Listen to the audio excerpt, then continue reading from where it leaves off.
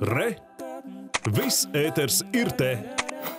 Pirms 32 gadiem pašvaldību delegāti izteica atbalstu neatkarīgas Latvijas valstī. Šodien Latvijas pašvaldības savienības pārstāvi un citi konferences dalībnieki vērtēja novadu teritoriālo reformu un kopējo valsts centralizāciju, to kritizējot. Par to Dāvids Freidenfelds. Pašlaik ir bažas, ka Latvija zaudē demokrātiju. Šādi viedokļi šodien izskanēja konferencē, vai tautvaldība Latvijā funkcionē. Konferencē te visi pauda, ka novadu teritoriālā reforma bijusi kļūda, un laika gaitā no pašvaldībām pāri palicis pavisam maz.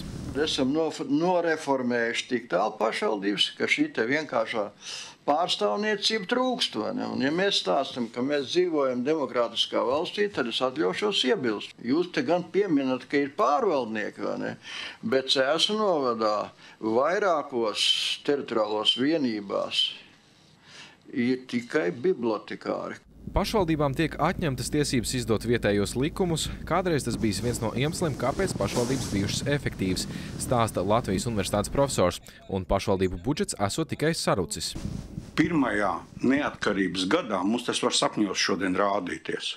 54% izdevumi bija pašvaldībām. Tas bija politisks, toreizējās tautas frontes lēmums, uz ko balstīties un kas ir pamatā varai. Un neko tādu mums vairs nekad nav izdevies atkārtot. Un finansējums, kas Latvijai piešķirts neattīstītu lauku teritoriju dēļ, tiek iztērēts pierīgā, saka bijušais Balvu novada domas priekšsēdētājs. Iepriekšējā Eiropas Savienības programmēšanas periodā, laika posmā no 2014. gada līdz 2020. gadam, Latvija saņēma ap 7 miljardiem eiro no Eiropas struktūra fondiem. Šis atbalsts Latvijai tika piešķirts tādēļ, ka Latvija ir mazatīstītas teritorijas - kurzeme, vidzeme, zemgale un īpaši Latgale.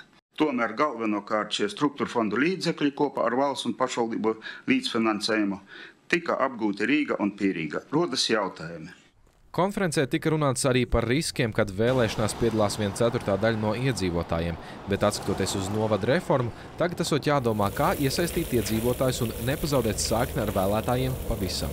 Jautājums ir par to, kā aktīvāk līdzdarboties. Un jau viena no lietām, kas šajā reformā bija iecerēts, kad vairāk vairāk iesaistīs tā saucamo līdzdalības demokrātiju, dažādā veidā iesaistīsies cilvēki, tad izskatās, ka tas tik labi neies. Jau ir pazīmes, ka daudzas no tām demokrātiskām institūcijām, tādas kā e, iedzīvotāju padomus, iespējams nemaz netiks dibinātas. Tādā gadījumā ļoti attālināsies no iedzīvotājiem.